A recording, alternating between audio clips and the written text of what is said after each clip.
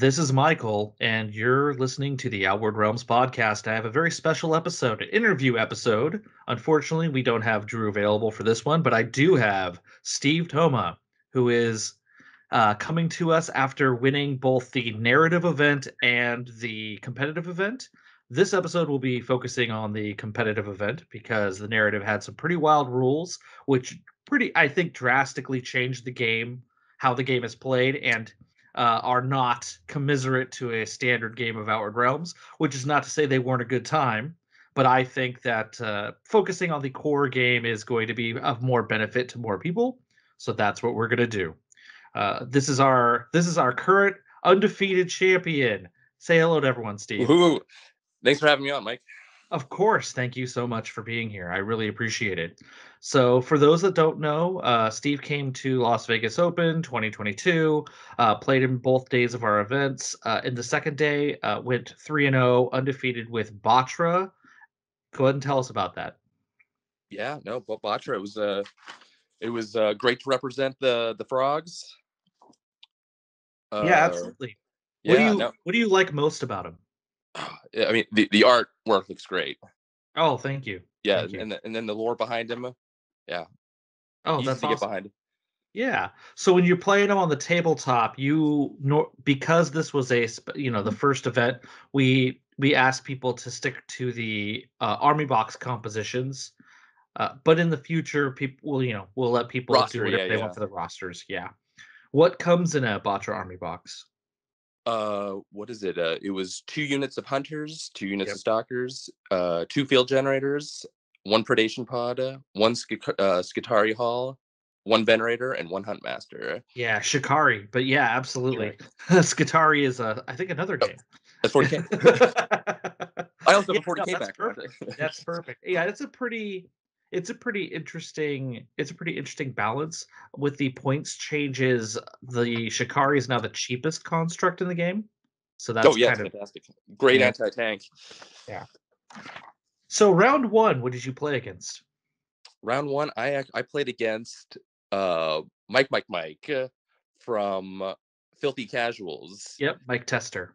Yeah and he he we, it was a mirror game batra versus batra and I had actually played against him final round of the casual uh, of the uh, the narrative. So we had already seen each other's strategies, and yeah, he he really wanted to be attacker for that game, and he got it. Mm. And okay. I, I I feel in a Batra versus Batra, being defender actually helps greatly because you have that that last act activation. Eh? Okay that and, really that really just helps to oh okay i need to get out you know for observe and report i need to i need to get out of close combat i need to kill that unit and and get away. Eh. Yeah 100% and then you can also have a scenario you can't plan for it but you could get the double activation as well. That also which i never did. Oh okay but yeah. it can happen like yeah. it, you can't plan for it but it is nice when it happens. Definitely. Yeah so that's cool what what tactics do you think uh they he was going for since you played two games with them versus what your plan was? Uh, so learning from previous encounters with Batra, uh, and and having and running this list with two field generators, mm-hmm. uh, hiding the field generators was was was key. Just getting them as far back as possible behind cover.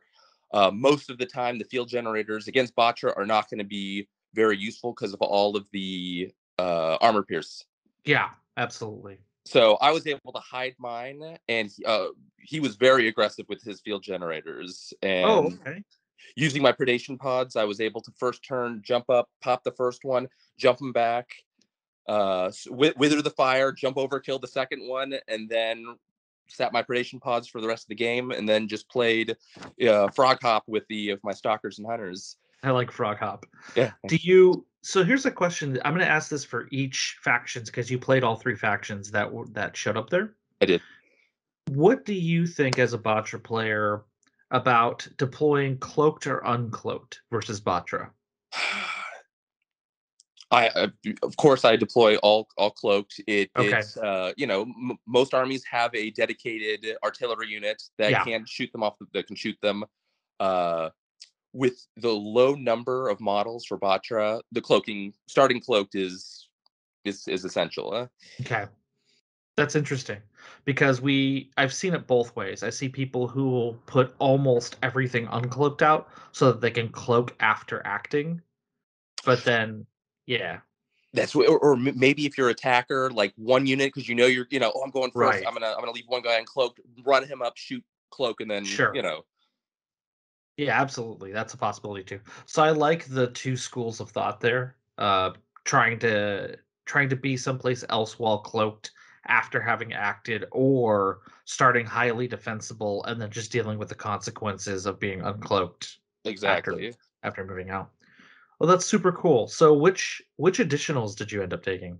Ooh, I, I chose the uh was increased mobility and uh eager for battle. Uh, you're you're talking Oh. about the Oh, the, The, uh, yeah, actually the additionals were for the um were for the mission, but that's cool. You're using Oh, I should have asked which sub faction you're using. Thank you for oh calling it out. yeah Clan the- Karuk.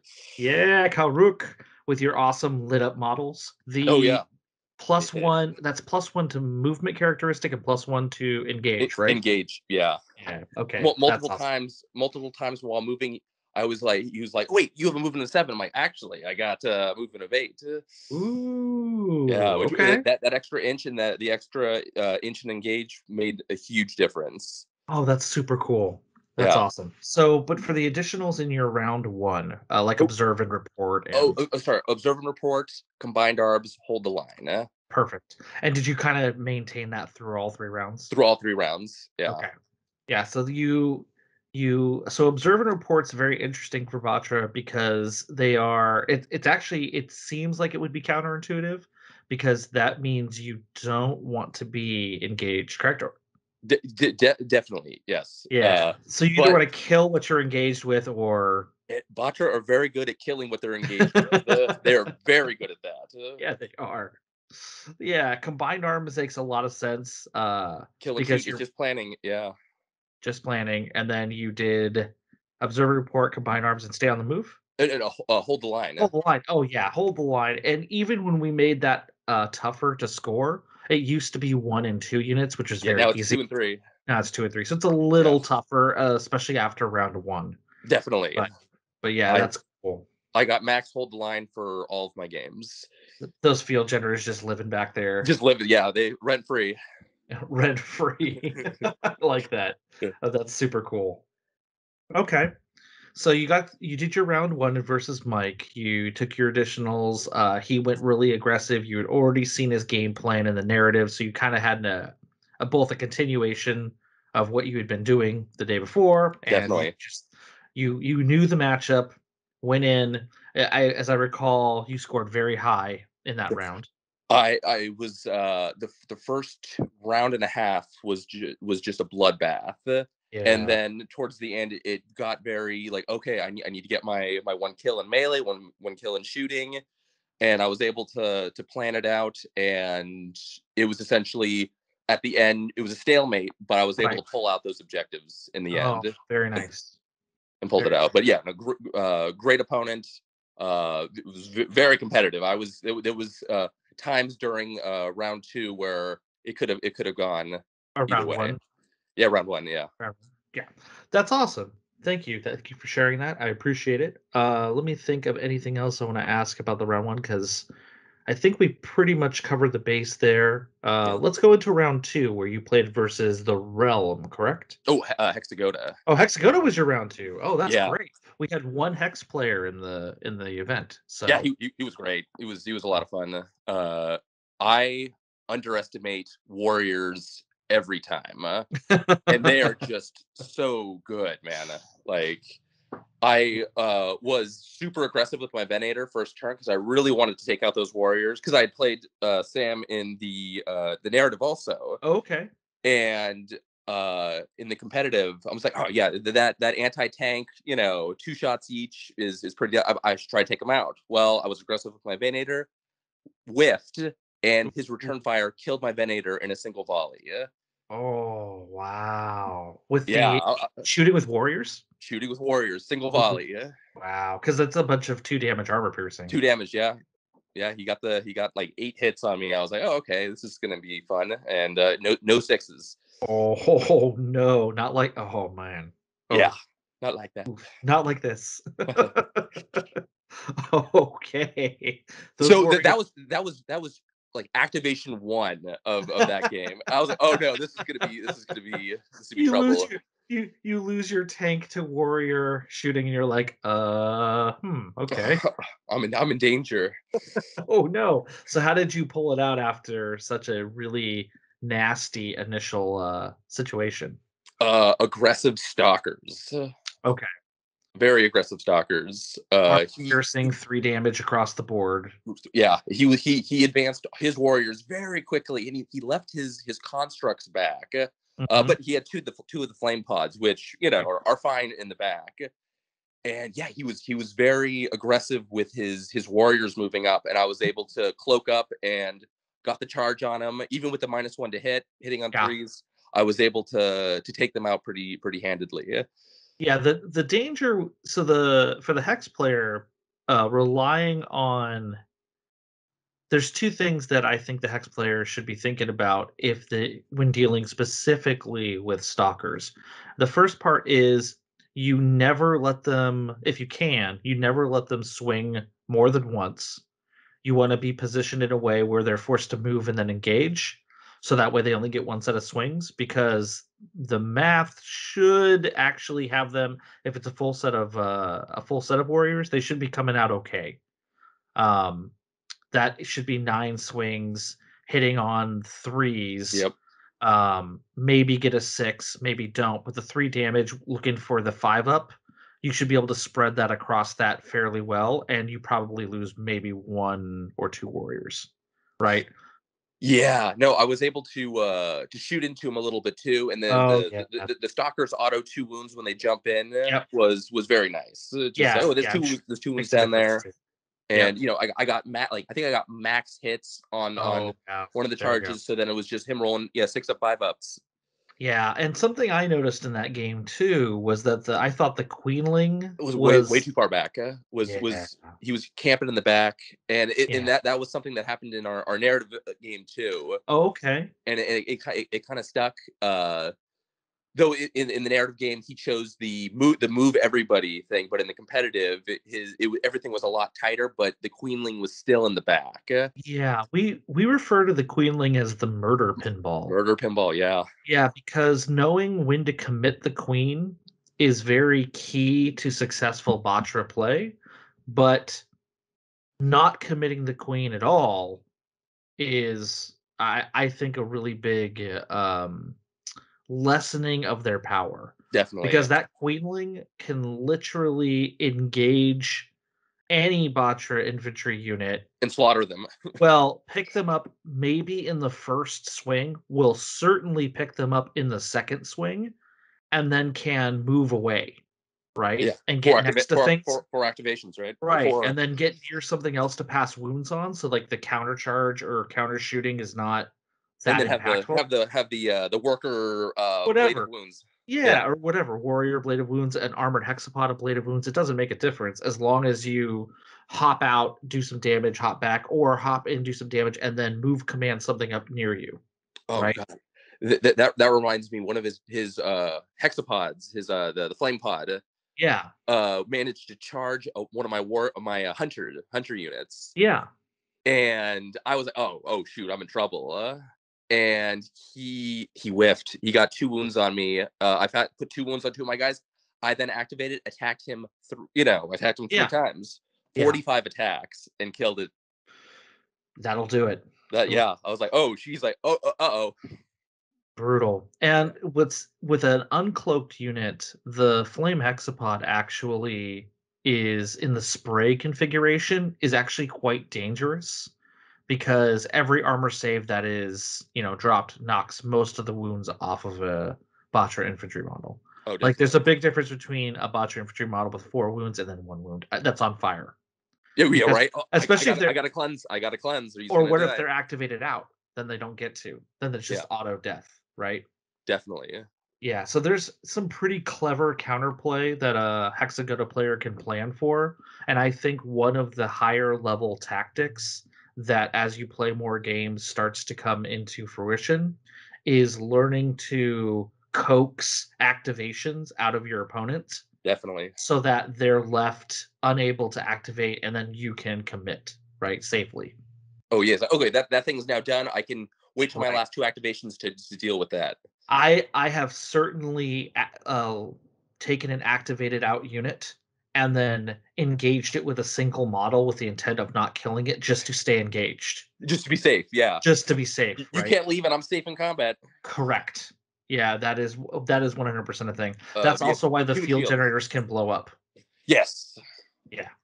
That's specifically why that's there. I really wanted to try that, but no one no one came close to my field generators. that are sitting there scoring you two points around. Like you definitely need to kill those things, right? Yeah. Yeah, no, but yeah, ag- aggress- aggressive Batra front line. You know, who are you going to deal with? The the uncloaked, uh, hidden uh, field generator, or the the stalker Sure. unit sneaking up on you? No, no, you're right. You apply all this front end pressure, but like you have to compensate for that, right? And it's playing into this, the additionals that are interesting to you. So that makes complete sense. Definitely. And this was a this was an inexperienced Hexagoda player. There, this was like their first real set of games, uh, using one of the armies that we brought, the army box composition, which for those who don't know is a queenling, two uh, units of warriors, one unit of winged warriors, uh, three units of worker swarms, two flame hexapods, and an armored hexapod. And what's interesting in that particular configuration is, to me, the the superstars of that box are the winged warriors because they are basically fast enough with metabolic with a metabolic boost Yeah. to Was it 30 to- inches or something? their threat range is 30 inches and then yeah that's it's huge and they could basically trade up on just about anything that's not a construct right because they have the, the the perfect configuration of a high volume of one damage armor piercing attacks And minus So- one to shooting shooting against them too. so- Sure. Yeah, but you but I like to commit them I like the way you're using your stalkers and hunters to apply that pressure. Um when I see playtesters or see people playing Hexagoda who have more experience, they will use that like they will almost never have winged warriors alive after round one. Yeah. But they've but they've made a trade. They're like, okay, I'm- up, yeah. yeah, even a lateral trade, it's still a trade, right? And Sure. they're so fragile to shooting, even with the minus one, because only the four up armor and the two wounds, that it's important to get that value out of them early. Yeah. And they're it- there to apply that pressure. if I recall correctly, it was uh I had some hunters on an objective and he Mhm. he hit them for like first turn, like Yeah. uh, charged them, killed them, uh, Yeah, and then I charged them with my second unit of, of hunters and then wiped Sure. them out. of But it was very like, oh, oof. and that can be also be used to bait out another unit that may be a little further back that you want pulled in closer to maybe get off a charge with the armored hex, uh, the armored hexapod, right? Yeah. Uh, I see a lot of people use the armored hexapod really passively, uh, which I think is a, a bit of a mistake because it has on the engage, it has Armor all of those three damage armor piercing attacks, right? Yeah. And you get to yell bone rams, which I is think my opponent did. Uh, yeah. which is so uh, much fun. I, I I think I, I got I got lucky with my my uh what is it uh Sh- Shikari uh was able to with its th- three you know six was it Yeah. six shots Yep. three damage each re-rolling I was able to to pl- Well, two get it pretty good. damage, two damage. uh, Are they six with three or six with two? I can't remember. six, yeah six with three. Six with three. Yeah. so good old armor pierce too yeah, and well, that's big against them, right? That's the one thing that could punch through that two up armor save. and then the, but then that four up the four up is eh, It makes a difference. It extra, really, extra tough they're beefy even the five ups on the on the on the infantry yeah, on the little guys. Yeah, Yeah. absolutely. So, uh, is there anything from a from a tactical perspective or anything from that game that you think is you know worth sharing for hex players? Be aggressive, uh, but uh, pr- protect the queen. I'd I'd put the queen aggressive, just have enough wounds to to protect her. And Yeah. with her four activations, she can do whatever she can do whatever you need her to do. uh, Right. But Yeah, if, if she's in the back, suddenly she's alone, and a predation pod jumps over and shoots her, you know, six times, and she dies. Right. Yeah, that's no fun. Yeah. Okay, cool. That's that's great. Um, you got that game uh, scored quite highly, as I recall, and then that puts you. So you were two and zero. You're going into round three. This is against Realm, correct? This is Realm, yeah. Oh, the other okay, another two and zero player. I I had not fought Realm since the TTS tournament months prior, so I was I was a little rusty. Uh, uh, I believe his name was Jake. He was he seemed like a fun guy. He was Yeah. he was he was very passionate about Realm. Yeah, that's awesome. Yeah. So for folks who don't know what's inside the Realm Army box, you have a major, you have three units of augment soldiers, two units of augment specialists, one unit of exosuits, one unit of grab skimmers, and the uh, heavy exosuit, as well as a battle tank. Ah, the tank. Yeah, and they're and the thing about the realm is they're very combined arms faction. They lean a little heavier on the shooting, and their punch tends to be counter punch rather than aggressive forward punch. Definitely. Like exosuits don't necessarily want to mob into something and try to pick it up. What they want to do is let something else get engaged and then mob in and clean it up. Def- definitely the uh the exosuits definitely managed to get a couple kills in with their in close combat. Yeah, yeah, yeah. More they, so. they actually have uh, some decent some decent punch, as does the, the heavy exosuit as well. Oh yeah, no, I, I, the heavy was responsible for killing my uh my tank.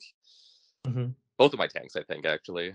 Wow. Okay. Yeah. So it sounds like the tanks were were getting beat up on, but they were not very critical to your plans. Like, They, they, they were, I mean, uh, they were able to get the units that needed to to get somewhere. They were able to get them up close, Yeah. Drop drop off a stealth stalker unit with Mhm. uh with the, with the huntmaster, and then went to town. yeah. So we call that the Easter egg.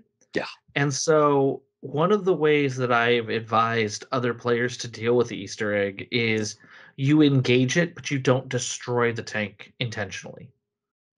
Because what that will do is it forces the it forces the Batra player to disengage and then either drop off its cargo or shoot.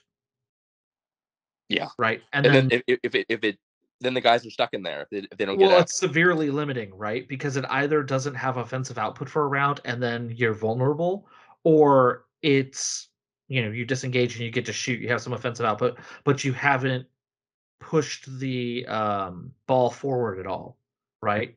For sure. So Uh, basically, it can become a trap. You can start to kind of trap things inside of the inside of the tank if you're Which- careful. w- w- which is a mistake that was I, I almost made uh, during Yeah. round, round one of the game against uh, Realm, Yeah, uh, where I oh, I Rowan against overextended. Batra. Against, yeah, yeah, no, no. Uh, this was this was against the, the Oh, Realm well, the first. So you're talking about the first round in your game three. Yeah. Okay. in game three. Um, yeah, so I'm sorry. Uh, yeah, I was super aggressive uh, with my uh, my Shikari, yeah, Yeah. and I, I I- managed to kill his his tank Yeah. in like a volley and a half uh, against Okay. the against you know against the tank, and Yeah. was able to like really wound both of his his big suits. By Sure. the time his big suit charged my uh my Shikari, who was Right. now out of activations, Okay. Okay. completely out of activations, had a, a full, full bus, you know, stalker unit, huntmaster in there, and I'm like, oh, So uh, So trouble. basically, he he should have left that alone. He, I. I yeah I I thought he was gonna leave it alone uh, and then then I would have like I'll you know I'll activate this uh, hopefully I'll be able to get the the initiative and I'll get to do it but he broke it open and then that stalker unit walked through his entire Yeah, army. Okay. So basically, he released them from their prison. really re- re- release the beast yeah oh no. Okay. yeah Yeah, I see that. That is uh the it, the two as the two factions with the transports. Um, that Easter egg principle is actually pretty big. The realm surprisingly has an easier time getting rid of that problem as especially they have a different problem so while they are capable of disengaging and and dropping something off for free uh they have to have a major nearby to disengage or have the sub faction that allows you to disengage with one yeah uh disengage and then shoot but they can also they're the one they have a much easier time disengaging uh dropping something off and shooting yeah was it hard hard to catch or something yeah, so that that's pretty interesting. Whereas for the Batra, the they have a they have a different set of concerns, right?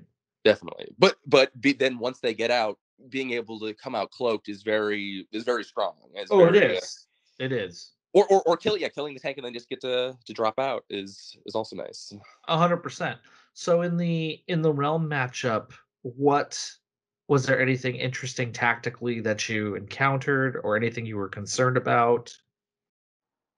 uh after yeah r- round one was was it was a bloodbath uh i lost both my tanks but my my infantry were essentially untouched and just just cutting a path through his uh he, he deployed it like a like a 40k guard player deploys like Mm. infantry in front tanks you know tanks in back Yeah. you know and it was uh it was very pretty to look at but my my Batra were able to hit a unit kill it and then engage another unit or it was it was just uh jumping from from well, not double engaging, but you're saying be engaged with something, finish it off, and then engage something else. exactly Yeah, yeah. because you can only engage once per activation. But yeah, exactly totally. two activate yes two two and plus they don't have enough AP to do do it twice anyway. definitely yeah yeah no my, my apologies uh but yeah at one point he charged me with with uh, an infantry squad uh, Yeah, and then i activated killed them yeah, and then and then charged into another unit uh, right. and then and then engaged them and then yeah it was just like and then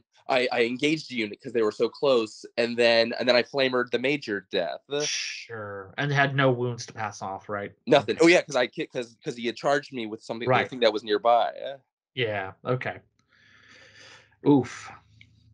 Yeah, I, I watched some of that game. Um, that matchup for if both players are of of equal skill and the skill is low, the Batra have the advantage. I think it actually becomes much more parallel once the skill increases because a realm player will utilize the tool like there's two things that uh, well, there's one thing he didn't have access to and the other thing is inexperience uh, inexperience the only thing you could do about that is get a bunch of games like he did that uh, that player uh, played all their games super awesome yeah it is uh i i love people who come to events and even if they're having a rough set of games they just keep going right? They're just Yeah. they're there to play. They paid. They traveled there. They want to do it. Um he, he'd also fought three other Batra he also fought both the other Batra players. Yeah right. So just this big run of like endless frog energy right? Yeah frogs Uh, everywhere. i was i was deeply impressed by that player's commitment to continuing to play. So oh yeah and, no. and uh they got the and the wooden spoon prize in the aura event is the best prize so yeah. and that's what he got so. Heck yeah. Um it will also help him because the it's more suits and one of the things that i've noticed for roster building with the with wave one models is the exosuits running an exosuit heavy list versus batra is very helpful. Oh yeah. Yeah i mean if you screen them out a little bit basically you let you let the Batra player pick up augment soldiers and then those suits can come in and just Straight up. wrap, yeah just wrap up because like you keep the major nearby you have suits activating with 4 ap yeah. engage and then double swing eh, they will just kill whatever infantry are there oh yeah easily yeah. yeah, and so and then they're out there in the open, and while they may like against, I, I don't think they take the clapback particularly well. Uh, they only have the 28 wounds, and most Batra things, if they engage in swing, will kill them. Even with the new subfaction rule that came out for the exosuits, if you're running the phalanx formation, you do get the minus one damage. Ooh, But that solid. it is, but it, it doesn't help against hunters, and it only takes stalkers down to twos. Uh, I think that there's a world where maybe a suit lives now against stalkers. yeah I, it, it, I it's a dice game it's a dice game it- right, right, and you have hunters who are going deep. They're hitting on threes, but they're going deep with those 15 attacks, right? yeah So 30 attacks versus them, like maybe one lives again, right? That's the danger. So you definitely want to be countercharging as realm. You do not want to, unless you're sure that that initial engage and then swing or double swing is enough to take care of business. But the benefit of that is engage, swing, and then fall back is also possible, or engage, swing, and then shoot. yeah There's a lot of like really great flexibility there. So especially with realm with their that extra active if they can have that if they get that extra activation yeah Yeah. Yeah, it's huge. So that's really that's really cool. So you talked about your you talked about your matches. You went your you got your three and zero. You almost perfected. I think you were like four points away from having a perfect score. Yeah. Yeah, that's Yeah. awesome. Next year. The next year. It, it, it, it was okay. It, it was it was only it was mainly because on the on the like the first round when you when Yeah. you uh uh, the hold more like hold more objectives is really Yeah. hard because they they- they're camping on theirs, you're camping on yours. Yeah. It's hard to it's hard to pull out that one that one more objective. But once you start whittling them down, it makes it makes a difference. Oh, definitely. Yeah, absolutely. So, what would you share as your thoughts for Batra players, just like in general? Do you have anything you want to release as a thinking that you've had or like innovations you've come up with? uh just yeah, be, you got you got to be aggressive uh, uh like, like especially against like other batra uh Yep. you know hanging back and just like oh i hope they don't come you know they don't come any closer you gotta eh, early on you know pick off things that are that are in the open uh and yeah just gotta be just gotta be aggressive until of course when you, you when you only have like two or three units left on the board then Yeah. it's then it's you know then play for the objectives but early on just try to take out as much as you can Well, that's great, and I'm I'm super glad that you're enthusiastic about the game and and oh, great, performing yeah. well. Like it's it's great to see, and my goal is for the next LVO to double the size of this event, and I think we'll be able to do that both with people and with tables. oh definitely So it should be a much more dynamic field at that juncture. Yeah, no. wh- wh- wh- While we were playing, we had uh, at least a dozen people walk up and say, "Oh, what is what is this?" And then Yeah. we give them a little rundown. Yeah, that's awesome.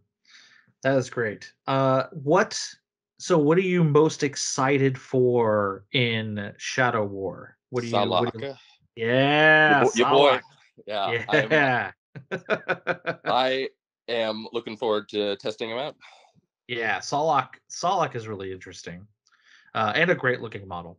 So Uh, yes, I, yeah, no, I, I want that that that uh, what is it? Uh, event only uh mini. yeah, the convention exclusive sculpt. Oh yeah, Definitely. that's super cool. Well, do you have any questions for me uh, while you have me on? yeah. What, what what's the what is the timeline for uh Shadow War? Yeah, so we're it's likely the special characters will be released first. I can almost I can almost assure you that. Shadow War we're trying for the end of Q2, start of Q3 is kind of where we're where we're hanging with that one. That's So, great. Man, that's it's coming quick. Yeah, and I don't I don't believe I don't believe we're going to do a Kickstarter for it. I Okay. think I think we might just do direct sales. I don't know for sure. A Kickstarter actually is a lot of um, art assets and it's a lot of leeway and they take a percentage and it's Oh, uh, sure. you get you get exposure and it does get you to repeat like if you missed or the first time here's your chance to get more stuff. But honestly i think we have a big enough player base now where i could just say hey here's shadow war. Here's a link on the Discord. well yeah i could throw it on facebook the discord on the discords that we have. We have the main one and then i'm on a few other ones that have their own channel. And then i think between that and the store uh we could do we could do some good work there. Oh, for sure. So that's that's great. Are you coming to the? I know you're in the area. Are you coming to the uh, meet and play at the end of February at Hammerhead Games? Potentially, yeah. My, my, Okay, my it's on a appearance. Sunday. It's on a Sunday. Oh, perfect. Yeah, I know Sundays uh, are a little better for you because of your career. For sure. I All that. Well, that's that's great. Well, thanks so much for taking the time. I really appreciate it. Thanks Uh, I asked before that we you didn't have anything that you wanted to plug except uh, support your local post office. Yeah. Yeah. All right. Well, that's Awesome. great. Thank Thanks, you so much for your time, Steve. Have a good one.